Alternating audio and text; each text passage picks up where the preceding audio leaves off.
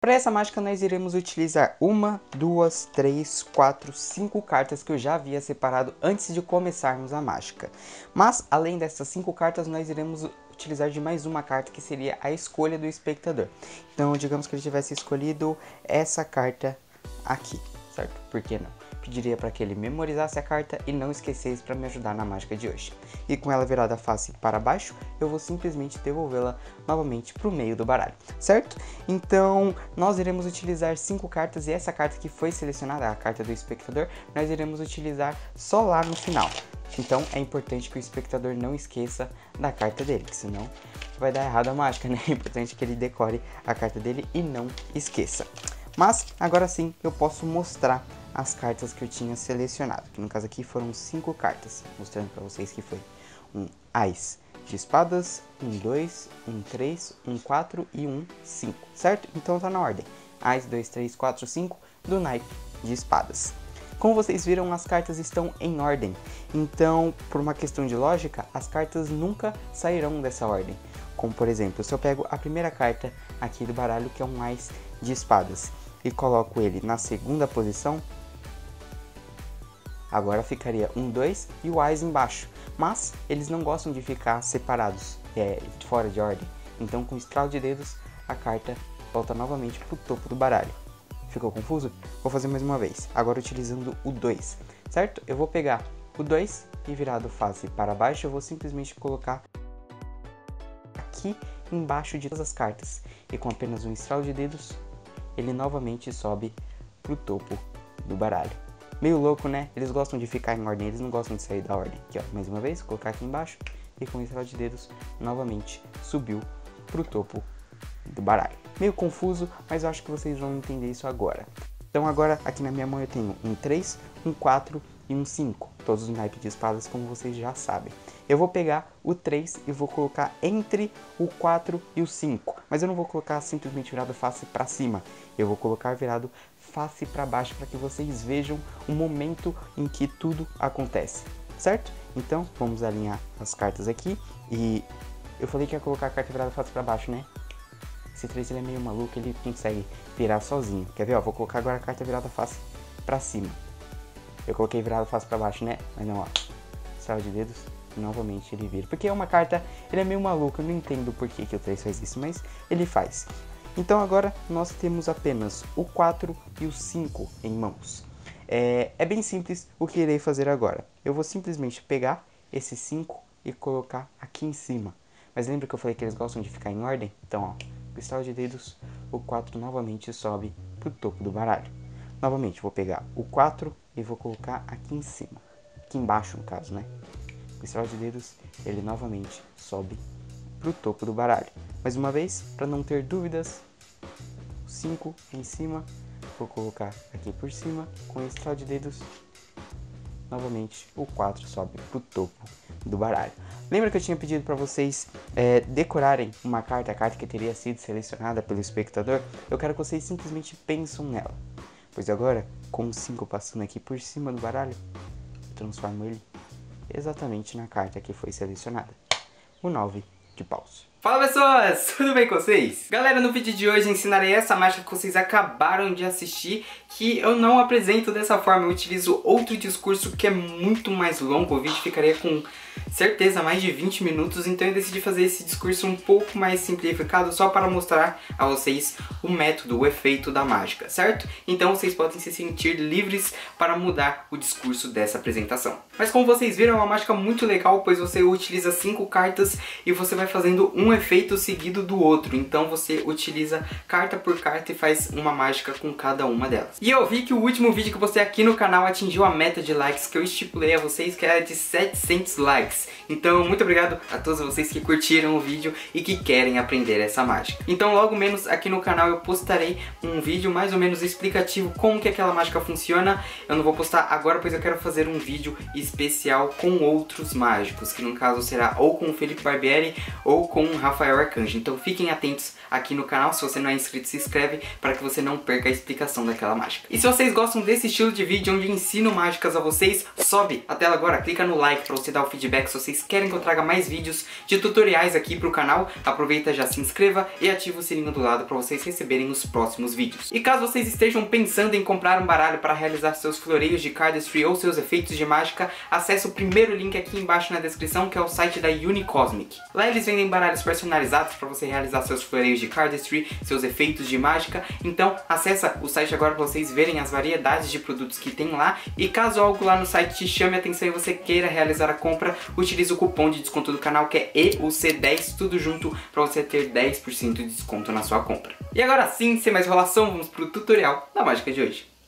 Galera, para realizar essa mágica, antes vocês precisam selecionar as cinco cartas que irão utilizar na performance, que no caso aqui eu utilizei duais ao 5 do naipe de espadas. E deixar nessa ordem aqui, ó, 5, 4, 3, 2, ais, e vai deixar todas elas viradas face para baixo no topo do baralho.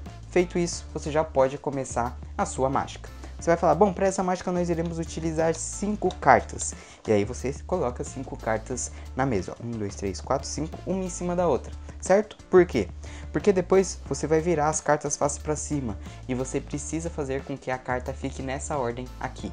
As, dois, três, quatro e cinco. Vocês vão entender o porquê. Então, é só vocês deixarem na ordem que estava antes, que era essa ordem aqui, certo? 5, 4, 3, 2, Ais e colocar no topo do baralho. E quando você começar a mágica colocando as cinco cartas aqui assim na mesa, uma em cima da outra, quando você for virar, ela já vai ter invertido a ordem. Perfeito?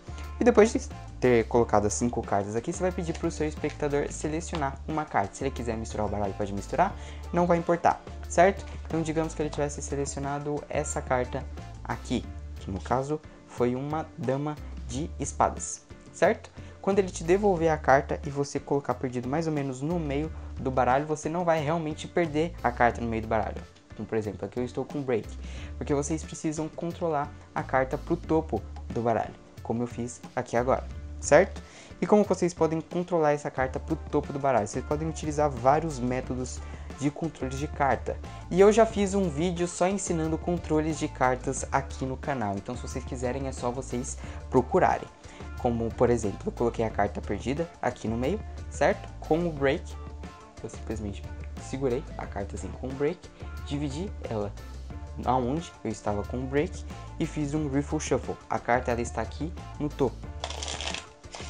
E dando a ilusão que você está misturando o baralho, eu controlei a carta para o topo do baralho. Então a única coisa que vocês precisam fazer é controlar a carta para o topo do baralho. Você vai dar a ilusão que está perdendo a carta no meio do baralho, depois você pode fazer um pass para controlar ela para o topo ou fazer algum outro movimento para conseguir transferir a carta do meio para o topo do baralho. Por quê? Porque depois de, de, feito isso, você vai fazer um break na carta do topo, que é a carta do seu espectador, vai juntar todas as cartas e vai colocar aqui por cima dela. E depois, quando você for pegar as cinco cartas, você vai pegar a carta selecionada, que é a carta do seu espectador, junto certo? Então vai estar assim, ó, 1, 2, 3, 4 e o 5 e a carta virada que é a carta do seu espectador. Então, mais uma vez, vou ficar com um break na carta do topo, certo? Vou juntar todas as cartas, colocar aqui por cima e depois na hora de pegar, eu vou pegar todas levando a carta do espectador junto, certo? Ficando assim. Depois que você já estiver assim, você vai fazer uma contagem falsa. Lembra naquele momento da performance que eu falo, bom, e agora sim eu posso mostrar as cartas que foram selecionadas. E aí eu mostro um mais, um 2, um 3, um 4 e um 5, certo? É, isso daqui foi uma contagem falsa, porque como vocês podem ver, eu já inverti a ordem das cartas e eu simplesmente fiz isso daqui. Eu peguei o Ás e ao invés de continuar passando as cartas, colocando as cartas por cima do Ás, eu peguei o Ás com essa mão aqui. Então eu fiz assim, ó, um, peguei o Ás, certo? Ó, coloquei ele aqui embaixo, mas ainda com um break aqui, ó, tá vendo? Que tá um pouco é, distante do bloco ainda. Por quê? Porque eu vou precisar pegá-lo novamente. Como assim? Eu vou pegar o Ás e vou passar aqui para baixo com o, movimento, com o mesmo movimento, certo? Fazendo de conta que eu estou passando as cartas assim, ó. Se vocês prestarem atenção nesse movimento, eu coloco a minha mão toda aqui por baixo para pegar a próxima carta. Então é por isso que fica muito oculto essa transição, certo? Então você vai fazer a mesma coisa, você vai pegar o Ais e vai vir com a mão aqui por baixo, vai pegar o 2, só que ao mesmo tempo você vai deixar o Ais ali. Vai pegar o 2, e agora sim, quando você for pegar o 3, você vai puxar com o dedinho o Ais junto. Vai fazer isso daqui, ó. Peguei o Ais e vou puxar o 3, certo? 4, e quando chegar na quinta carta, você não vai puxar, certo? Porque tem a carta do seu espectador aqui. Você vai simplesmente pegar esses, essas duas cartas e vai jogar aqui por cima. Então, é, a ordem ficou assim, ó. Um 5, uma carta aleatória, um 4, um, um 3, um Ais e um 2, certo? E agora eu falo, bom, mas como as cartas estão em ordem, elas não gostam de sair dessa ordem. Então, como por exemplo, se eu pego a primeira carta aqui do baralho, que é um Ais. Não é o Ais a primeira carta do baralho, a primeira carta é um 2. Então isso daqui eu fiz um Double Lift, que caso alguém não saiba, é o ato de virar duas cartas como se fosse uma única carta, certo? Então, o que eu fiz? Enquanto eu estava passando as cartas aqui assim, eu fiz um break nas duas cartas do topo e eu simplesmente virei elas face para cima, certo? Depois eu virei elas face para baixo novamente, peguei a carta de cima, que dá a ilusão que é o Ais, mas na verdade é o 2, coloquei na segunda posição, certo? Depois com dedos, a carta sobe para o topo, só que na verdade ela já estava no topo certo? E vou colocar a carta aqui de canto. E agora vem o 2. O 2 você vai simplesmente virá-lo face para cima para mostrar que é realmente o 2. E você não vai colocá-lo na segunda posição utilizando o Marlow Tilt. Você vai simplesmente pegar a última carta do bloco com o dedinho, você vai fazer a marcação aqui e vai colocar o 2 virado face para baixo, obviamente, na penúltima posição do bloco. Vai fazer isso daqui. Então, é, a, o 2 está aqui em cima do 5, é a penúltima carta do bloco. E depois com o estralo de dedos você vai virar a carta, mas você vai virar todo o bloco. Você vai virar um, dois, três, quatro cartas ao mesmo tempo, dando a ilusão de ser apenas uma. Então você vai puxar a última carta e vai virar todas as cartas face para cima, dando a ilusão que é apenas uma única carta. E você pode realmente mostrar que é uma carta só, dando a ilusão que as cartas estão todas viradas face para baixo. Só que na verdade essa é a carta do seu espectador, certo? A dama de espadas. E vocês precisam fazer isso duas vezes, certo? Então você vai fazer o mesmo movimento, vai deixar o 2 face para baixo, vai fazer a marcação na última carta aqui do bloco e vai colocá-lo ali na penúltima posição. E novamente, com o estalo de dedos, você vai virar o bloco inteiro. Ó, só tem uma carta aqui na minha mão e aqui tem vários.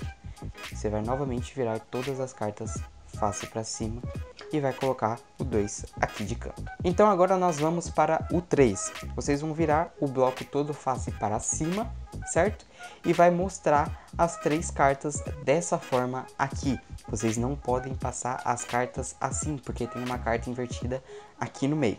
Como vocês fazem isso? Vocês vão segurar o bloco dessa forma aqui, certo? Com o dedão e o dedo médio em cima, dedo médio em cima e o dedão embaixo. Com a sua mão oposta, você vai puxar a primeira carta, que é o 3, certo? E com a sua, ainda com a mão oposta, você vai puxar a segunda carta aqui por baixo, mais ou menos assim, certo?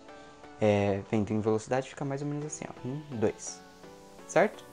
Você vai pegar esse 3 e vai dar aquele discurso que vai colocar a carta virada face para baixo, só que na verdade você vai colocar face para cima. Por quê? Porque agora é, se você fizer o mesmo movimento de mostrar as cartas aqui, o 3 ainda está virado face para cima. Mas, se você apresentar ela dessa forma aqui, parece que o 3 está invertido. Só que na verdade esse daqui não é o 3. É o, é o 3, né? O 3 está aqui embaixo, mas é a carta selecionada junto. Então, na verdade, quem virou não foi o 3, e sim a carta que foi selecionada. E como vocês fazem isso? Vocês vão fazer o mesmo movimento. Vocês vão segurar o bloco nessa posição, vai vir com a mão oposta e vai puxar apenas a carta de baixo. Só que na verdade, ao invés de você puxar a segunda carta aqui assim, igual a gente fez da outra vez, vocês vão puxar o 5 com o dedão. Então vocês vão fazer isso aqui, ó. Puxei a primeira carta e o 5 eu puxo com o dedão, certo? Fazendo isso daqui.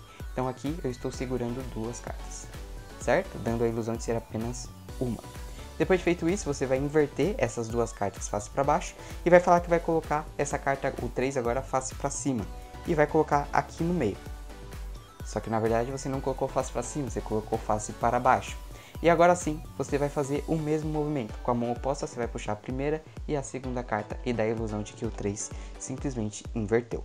E essas duas cartas que vai estar aqui nessa, nessa mão, certo? Você vai colocar aqui por baixo do 3 e vai colocar o 3 na mesa. Perfeito? E agora sim, nós vamos para a finalização da mágica. Você vai mostrar que tem apenas duas cartas. E você pode até mostrar o dorso, porque não dá pra ver porque as duas cartas estão invertidas, certo?